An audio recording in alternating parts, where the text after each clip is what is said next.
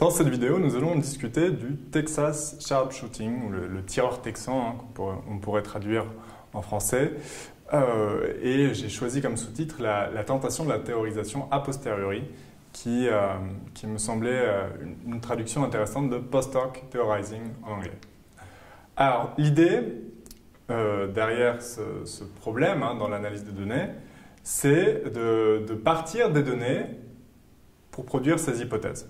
Donc imaginons que ces, impacts de balles, ce soit les données.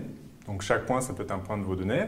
Et euh, vous allez construire vos hypothèses, vos idées pour expliquer ces données à partir de ce jeu de données-là. Donc l'analyse, c'est les patterns que vous voyez dans les données, vous suggèrent des hypothèses. Et entre guillemets, vous allez dessiner une cible autour des données. Si on devait faire l'analogie, euh, la cible, ça correspond à vos hypothèses, vos interprétations, vos explications que vous dessinez a posteriori, donc après avoir analysé les données.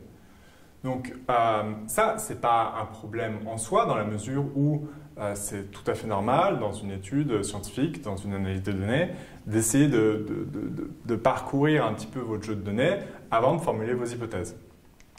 Le problème, c'est pas ça. Le problème, c'est quand vous retestez pas les hypothèses que vous avez formulées, ou quand vous les retestez sur le même jeu de données qui a servi à créer vos hypothèses. Quelque part, c'est une forme de raisonnement circulaire. Euh, donc, c'est ça qu'on appelle la théorisation post-hoc, en anglais, hein, post-hoc theorizing.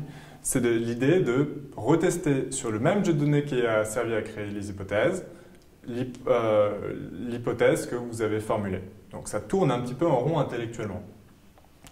Euh, je, vous propose une petite analogie personnelle pour essayer de vous faire comprendre pourquoi euh, ça pose problème et que ce n'est pas simplement une lubie d'épistémologue. Euh, imaginons deux médecins. Vous avez un, problème de santé, vous allez voir deux médecins différents. Donc le premier, donc l'idée c'est de, de, savoir à quel médecin vous feriez le plus confiance.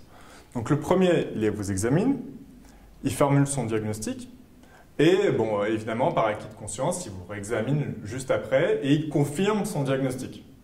Donc sans être allé chercher de l'information ailleurs quelque part.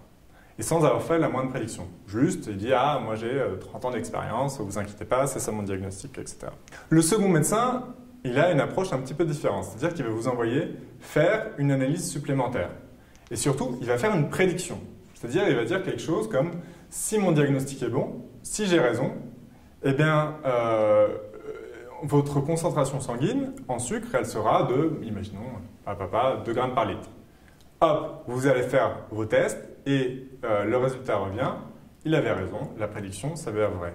Là, vous êtes Ah Là, évidemment, moi, j'aurais plus tendance à, faire confiance à l'expertise du second médecin qui a fait une prédiction et qui a collecté de nouvelles données, qui a par exemple votre analyse, qu'à celui du premier qui s'est contenté des données qu'il avait déjà à sa disposition pour euh, formuler un diagnostic. Et donc ça, c'est très important, l'idée qu'on ne doit pas tester les hypothèses qu'on a formulées sur le même jeu de données qui a servi à produire ces hypothèses.